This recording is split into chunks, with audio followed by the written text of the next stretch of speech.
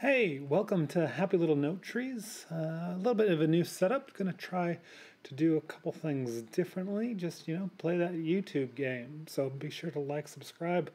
Um, yeah, it's good to be back in front of a mic. But uh, yeah, we're just going to talk about Dehancer today.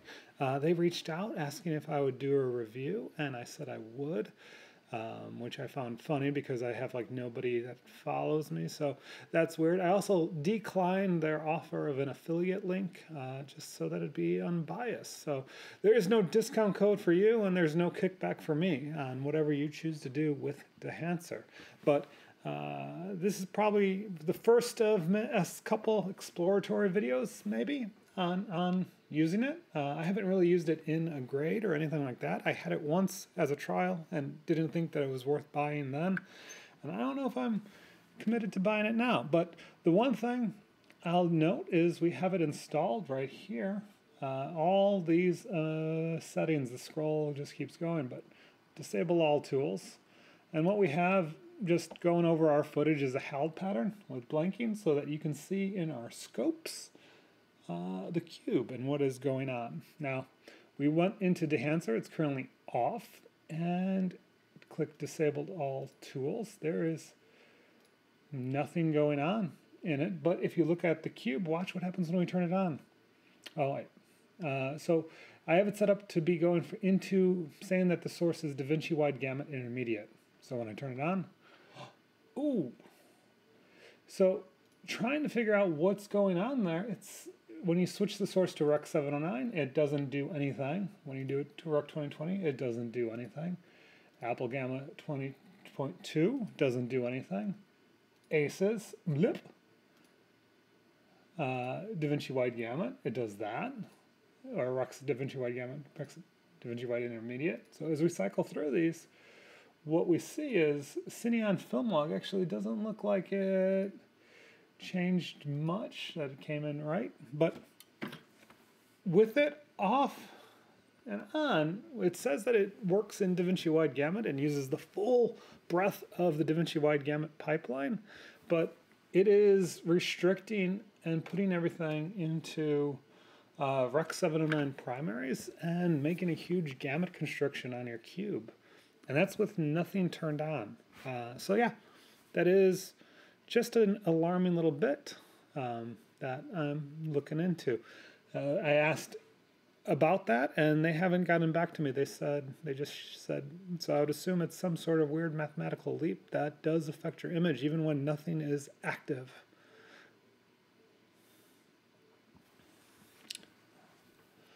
Anyways, continuing on, um, when we look at what it does, there are tons of things, and I'm not sure I want to talk about it yet right now. I haven't really gone through it. All I've really done is play around with this feature set right here to see that, yeah, it when you change this, that is affecting what is going into it.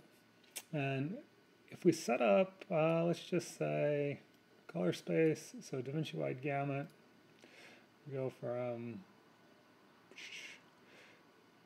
DaVinci Wide Gamut. Oh, let's just see. Where am I at? Uh, so copy, we'll hit serial, we'll paste, we'll flip this. Let's say we're going from DaVinci Wide Gamut. A friend, a guy that I know said try to do this, and the closest that you'll get is copy paste. We'll just pump that out. Nothing else going on. Um, let's see, none here. Let's see what we got going on here. What are we doing here? What am I doing? So I'm taking it for, oh, that's why DaVinci Wide Gamut.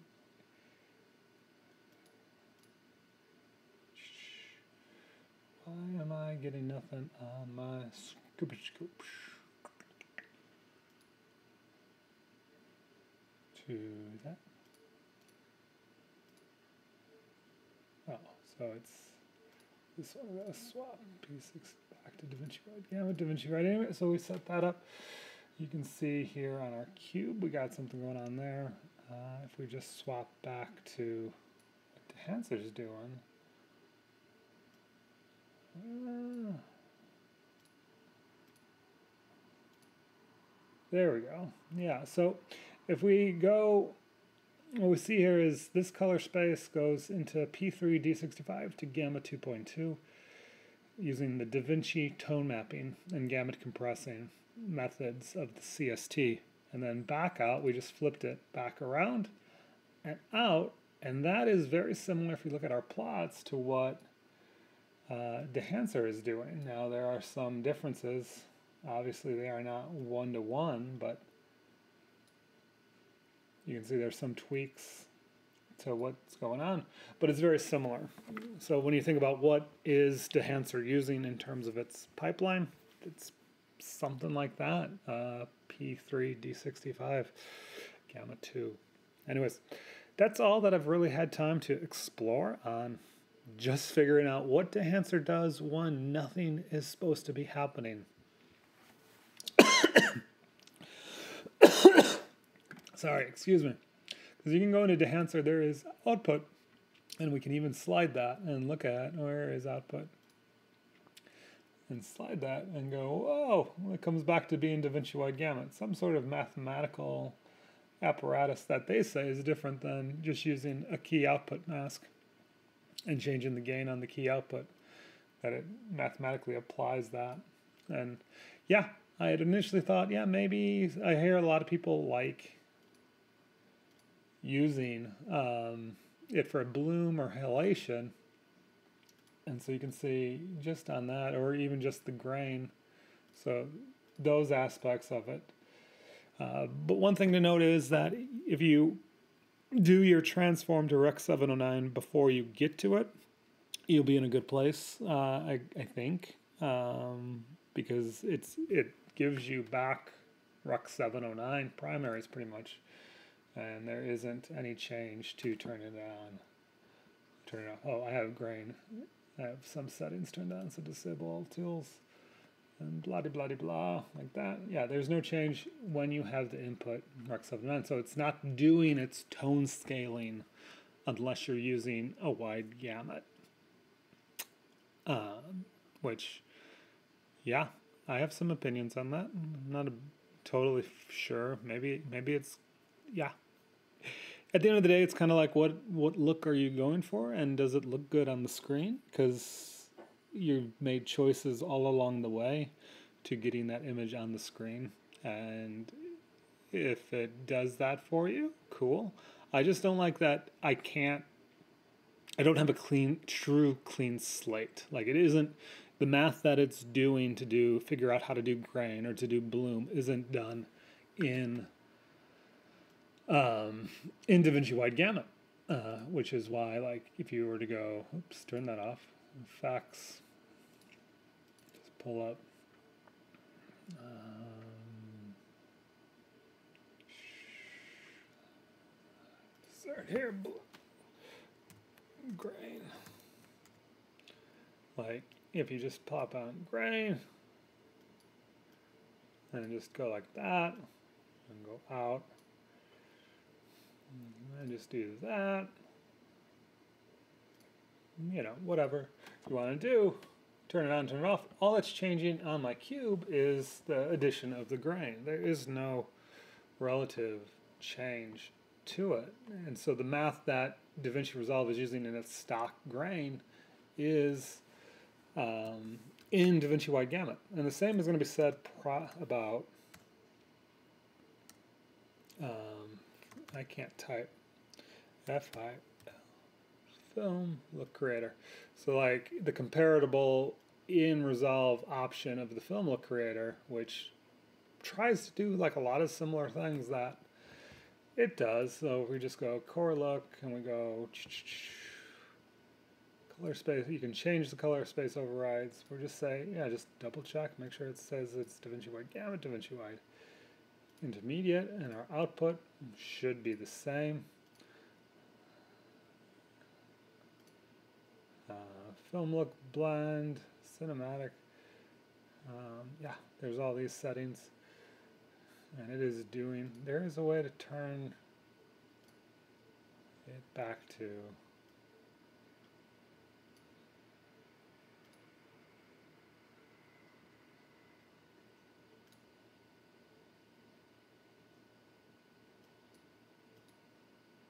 default, default, clean slate. There we go. Um, so yeah. Hmm.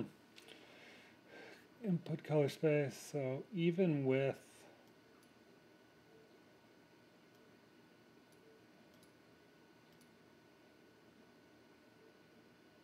Interesting.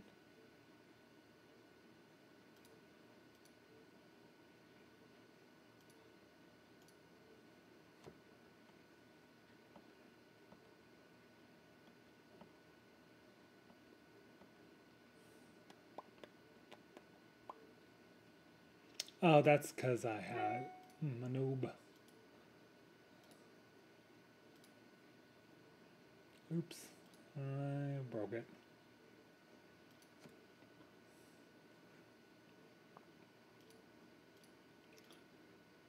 That's what. Uh, so yeah, uh, you're not seeing the color space constriction because I don't have, I guess just turn these on.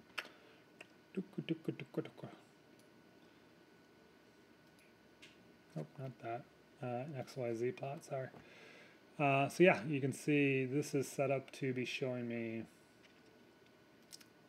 draw grays, draw spectral locus, draw all the things.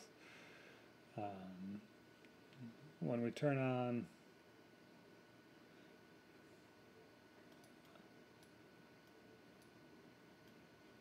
film look creator.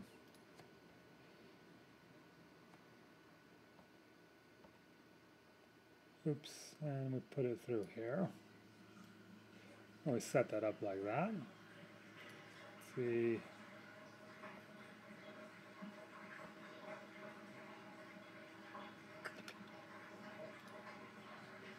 working primaries. This is DaVinci Wide Gamut. Yeah. It's a film creator. Bloop, bloop, bloop, I gotta investigate that, why it's doing that. But we have that same issue with Dehancer.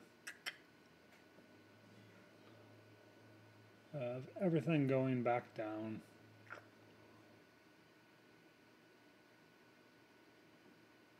And nothing happening there, but if we switch, because we switch the input to DaVinci Wide Gamut, there we go. That is a better visual. Uh, my no Omniscope isn't set up to show that it's getting constricted on the CY plot. You can just see it happening. Bloop, bloop, bloop, bloop, bloop, bloop, bloop, bloop, bloop, bloop, bloop, bloop, bloop.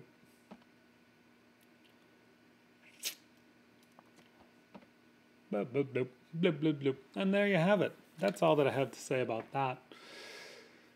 I'm going to go take a nap now. Anyways, this was Happy Little Node Trees, trying just things, make things a little bit more colorful. Uh, looking at Dehancer. Hey, thanks for jumping in. Uh, this is my outro. This is my outros.